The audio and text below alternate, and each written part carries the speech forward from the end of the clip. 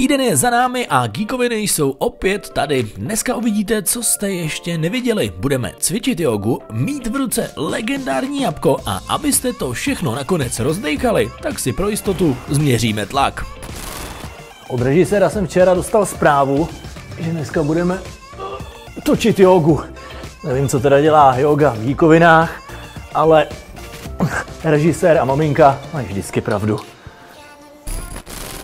Ne, nebojte se, tohle vás ušetřím. Točit jogu budeme, ale o mnoho zajímavější. Lenovo Yogabook C940. Parádní konvertibilní notebook, který nabízí hned čtyři varianty využití, což vlastně znamená, že i ten notebook je ohebnější než já. Stylová hliníková konstrukce, váha kilo a půl a tloušťka necelých 16 mm. Tyhle parametry prostě musí zaujmout a kdyby náhodou ne, tak výbava rozhodně ano. Full HD IPS display plně dotykový s podporou HDR a svítivostí 500 nitů. Procesor Intel Core 10. generace, 16 GB operační paměti, rychlý terabajtový SSD, USB-C Thunderbolt 3 a nebo třeba podpora dotykového pera Lenovo Active Pen. Nejlepší na téhle józe je flexibilita. Potřebujete k práci nebo k dlouhým četování klasický notebook s plnohodnotnou klávesnicí? Máte ho mít. Chcete v klidu prokrastinovat u seriálů na Netflixu? Ve vteřině máte v ruce tablet. Rádi byste ukázali něco ostatním? I s tímhle si yoga poradí. Prostě si ji přizpůsobíte tak, jak zrovna potřebujete. Co mi ale vyrazilo dech je výdrž baterie. Celý den zvládne bez problémů, i když ji nebudete zrovna šetřit. Na poloviční jas můžete brouzdat víc než 10 hodin. Tak si říkám, že ta yoga nebude úplně tak zlá a že takhle budu cvičit klidně několikrát denně. Hmm, uzený za 30, mlíko za 7, koblihy zdarma, no, to známe mandarinky, pivo za 10. Jo, ale jaký je tam DPHčko? Hele, iPhone 10s? A ta cena? To snad ani není možný. Necelý rok a půl stará vlajková loď Apple se dneska dá pořídit opravdu za pakatel, ale vyplatí se to? Má v roce 2020 ještě smysl? Na to vám hned odpovím.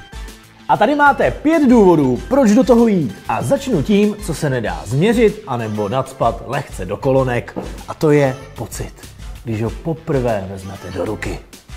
Ocelový rám se skleněnými zády a libovým OLED displejem s perfektním podáním všech barev, včetně černé, dávají telefonu punc jedinečnosti.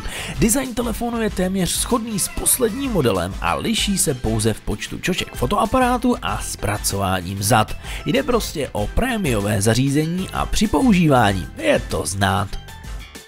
Dalším důvodem je neskutečný výkon, který 10S předvádí. Animace operačního systému jsou rychlé a plynulé, odezvy okamžité a prostředí dokonale odladěné, takže se nemusíte bát nečekaných záseků nebo dokonce pádu aplikací a podobně. Za třetí je to foťák, tedy spíš tři foťáky.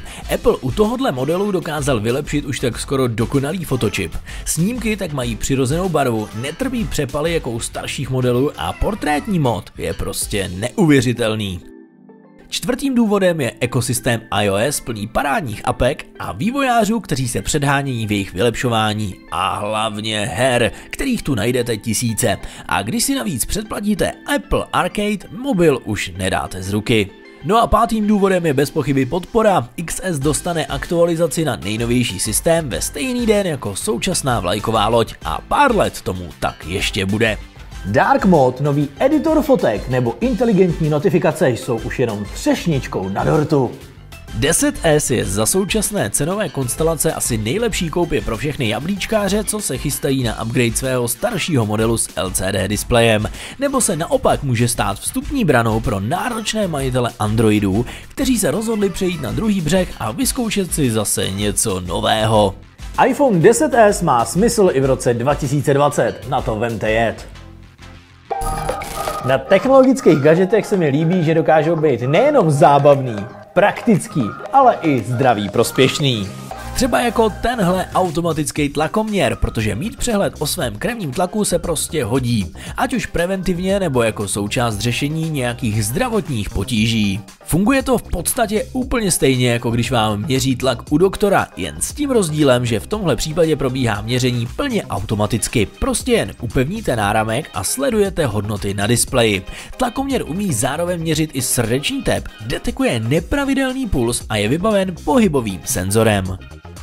Do paměti přístroje můžete uložit až 60 různých měření pro dva různé uživatele.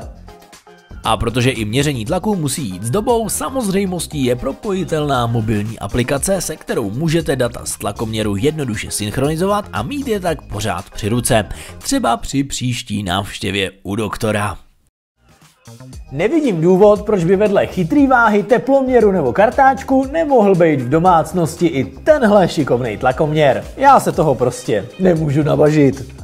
Dnešní zdravotní díl je za námi. Pokud tohle stále nemáte dost, utíkejte na YouTube kanál czc.cz, kde budeme rádi za váš like a odběr a tam si puste klidně všechny předchozí díly.